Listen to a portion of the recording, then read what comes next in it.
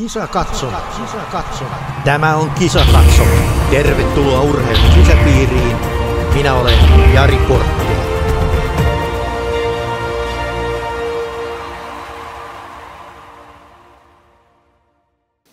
Oikein hyvää torstaipäivää. Tänään juhlitaan kultamitalia. Vilma Murto nimittäin nappasi, niin kuin varmasti kaikki teistä tietävät eilen illalla, tuon kultamitalin häikäisevällä suorituksella, näin voi sanoa.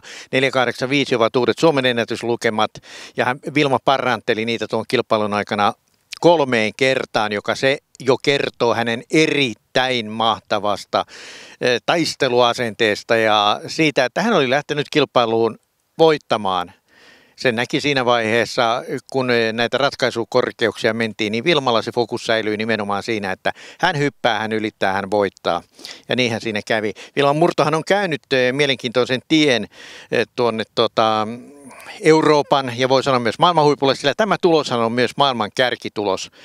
Sidorova on hypännyt toki 491, mutta hän nyt sattuu olemaan venäläinen ja sattuneiden syiden vuoksi hänen tulostaan ei tuolla maailmantilastossa noterata niin, että se olisi maailman kärkitulos, vaikka jostain kumman syystä kansainvälisen yleisurheiluliiton sivuilla se vielä on. Olen tästä kyllä informoinut eh, kansainvälistä yleisurheiluliittoa ja, ja vaatinut, että he poistavat sen tuloksen sieltä, koska vaikka hän ei Venäjää edustakaan, niin hän on venäläisurheilija, jolle on myönnetty tämä ANA-edustusoikeus ja hän on tuon tuloksena tehnyt siis niiden kriteereiden mukaan, jotka olivat asetettu ennen sotatilaa. Ja kun tuon neuvostoliiton hyökkäyksen jälkeen, Venäjän hyökkäyksen jälkeen maa suljettiin kaikesta urheilutoiminnasta pois, niin samallahan myös kaikki nämä tulokset pitää tilastoista pyyhkiä pois, se on päivänselvää.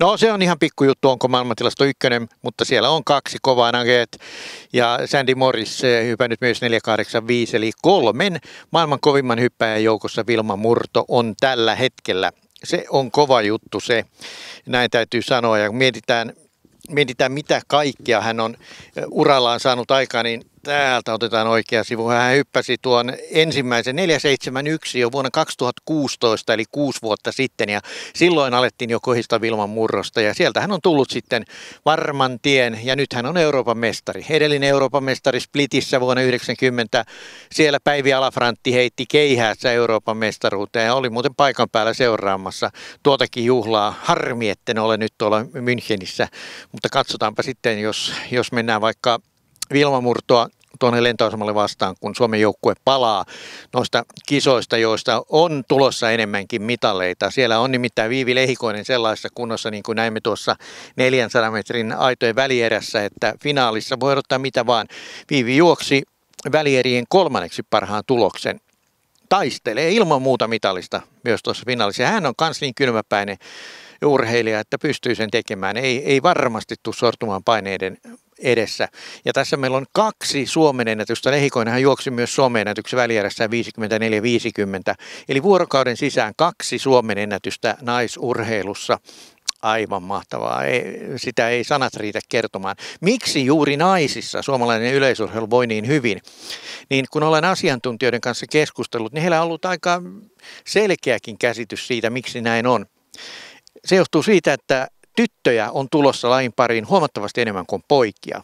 Ja se taas johtuu siitä, että pojat menevät enemmänkin vanhempiensa tietysti vieminä ja sanotaanko toiveiden eh, sävyttäminä jalkapalloja ja jääkiekkoon harrastamaan niitä, koska siellä nähdään, että sieltä voisi ansaita sitten enemmän, saada tulevaisuuden ammattilaisena ja päästä käsiksi miljooniin. Ja mm, totta kai tämä unelmahan jokaisella on, mutta kun tytöillä ei ole NHL eikä jalkapallossa näitä eh, ammattilaissarjoja, siinä määrin vielä kuin miehissä, niin tytöt ohjautuvat sitten eh, paljon myös yleisurheilun pariin. Sehän on vaan hyvä asia, koska yleisurheilu tarjoaa, se on monipuolista urheilua. Siellä voi harrastaa niin monen monta lajia ja nyt täytyy myös suositella kaikille voimistelijoille. Tulkaa kokeilemaan tuota yleisurheilua. Siellä on korkeushyppyä, siellä on seiväsyppyä, joka on jännä laji, kun olette tottunut olemaan pää alaspäin harjoituksissa, niin seiväsypyssä saa olla pää alaspäinkin. Ja, ja tota, siellä, siellä on jos jonkunlaista kokeiltavaa ja varmasti Vilman Murto ja Viivi Lehikoin innostavat nuoria niin, että meillä on taas syksyllä, kun urheilukoulut alkavat, niin pulaa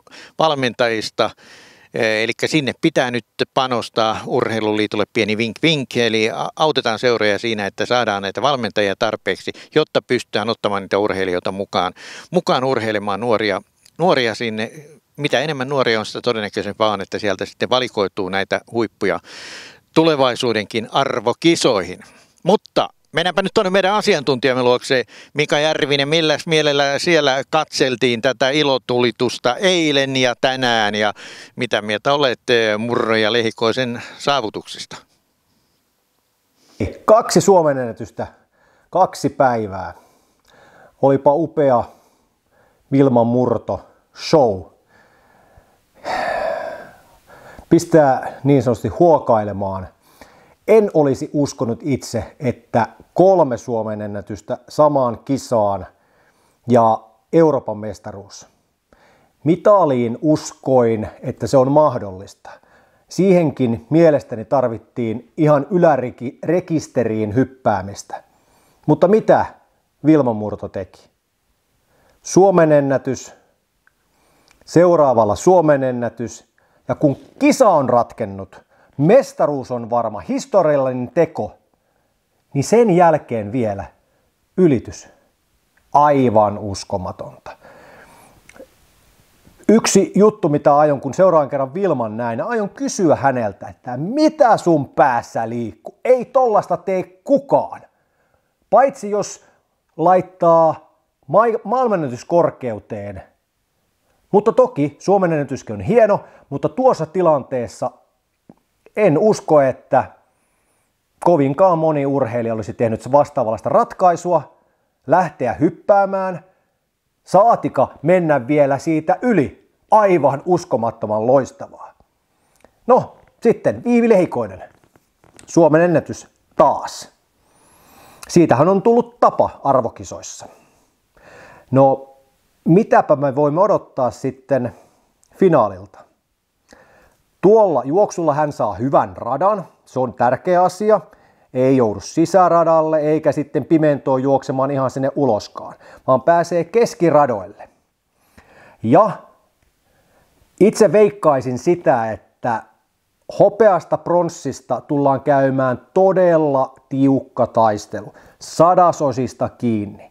Ja nyt jos mietitään tämän päivän juoksua ja heitetään sitten ajatusta finaaliin, niin pikkasen pitää olla skarpimpana, rohkeampana, että pääsee sillä ihan suunnitellulla rytmillä, mikä sitten se onkaan valmentajan kanssa laadittu, koska nyt tuli se, että kun jäi vähän kauas yksi aita, niin otti seuraavan varman päälle. Se toimi tässä, mutta kun lähdetään taistelemaan jokaisesta sadasosasta siellä finaalissa, niin siellä ei vaan siellä pitää vetää tavallaan itseluottamusta uhkuen vähän riskin päälle. Veikkaan, että ei tarvi juosta alle 54 sekuntia ottaakseen mitallin. Femkepol menee, mutta menköön. Hopea pronssi tullaan taistelemaan ihan sinne 54 alaosia ja siihen Viivillä on mahdollisuus, mutta se vaatii sen, että lähtökiihdytyksestä, reagoinnista, kymmenen aitaa, hienosti teknisesti ja lopussa Viimeinen, kuten tänään, erittäin hyvässä asennossa viimeiseltä aidalta alas suoraan siitä juoksemaan loppusileää. Avaimet ovat omissa käsissä. Näilläpä tällä kertaa. Tuleeko vielä Suomen ennätyksiä? Kuka niitä vielä tekee? No niin, sielläkin Mika on niin sanotusti pähkinöissä ja, ja syytä ollakin. Kyllähän se oli, oli aivan kerrassaan upea ja mahtavaa tuo, tuo Vilma Murron hyppääminen keskiviikkoiltana. Tänään Viivi Lehikoisen juokseminen ja huomenna. Huomenna on sitten semmoinen superpäivä. Nimittäin heti aamukarsinnoissa keihäsmiehet tulessa kolme kaveria, kaikilla mahdollisuudet ja edellytykset mennä finaaliin. Ja kyllä mä uskon, että kaksi kolmesta ainakin menee. Eh, miksei kolme kolmesta. Kyllähän jokainen heittää sen 82. Sehän nähtiin nyt siellä Kalevan kisoissa, että kyllä ne kaverit siihen pystyy ja sillä 82 ollaan kyllä varmasti finaalista, finaalissa, sen voi sanoa. Ja sitten odotetaan mielenkiinnolla sitä itse finaalia, jossa toki suomalaiset suosikkeja eivät ole, mutta mitalin syrjässä sielläkin voivat olla. Mutta huomennahan on sitten superpäivä, kun on kaksi finaalia illalla. Kolme suomalaisurheilijaa jälleen niin kuin eilisiltana mahdollisuus mitaleille kolmiloikassa – ja siinä naisten 400 aidoissa.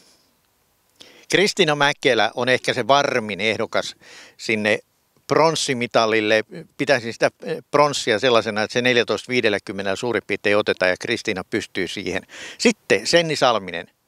Hän voi olla 12, hän voi voittaa. Mihin tämä perustuu? No siihen, että Senni on valmis hyppäämään sen 14.80. Sen kyllä näkee, mutta se vaatii just sitä, että se tekniikka pysyy kasassa – ja vielä se pysyy siinä loikkien aikana kasassa, ettei käy niin, että välillä kuokitaan vähän eteenpäin ja välillä lantiolla liikaa taakse ja välillä polvi vähän pettää tai nilkka. Vaan se vaatii, että kaikki pysyy kasassa ja silloin 14.80 ja sillä voitetaan Euroopan mestaruus. Tässä on hyvät lähtökohdat siihen, siihen naisten loikkakisaan ja miettikää sitä. Siinä, siinä on mahdollisuuksia todellakin vaikka mihinkä, vaikka kahteen suomalaismitaliin. Käydään sitä asiaa vielä tarkemmin sitten huomenna läpi tänä iltana mielenkiinto kohdistuu tietysti tuohon Tonni Vitosen kilpailuun. Jakob Ingebrigtsen hakee siellä sitä kuuluisaa tuplaa, jonka hän on jo kerran tehnyt, eli 5 tonnia ja tonni 500 voitot. Ja kyllähän ne esitykset on ollut sitä tasoa, että pitäisi pystyä siihen.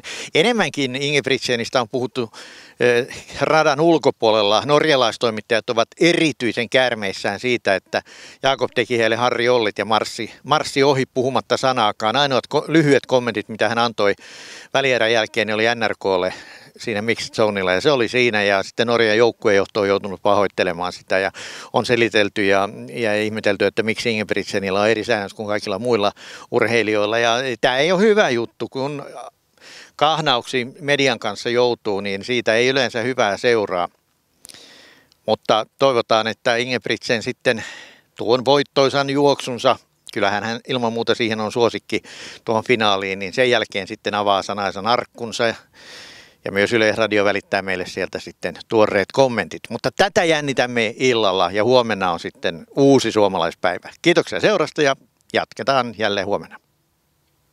Kisa katso. Kisa katso. Tämä on Kisa katso. Tervetuloa urheilun sisäpiiriin. Minä olen Jari Korttila.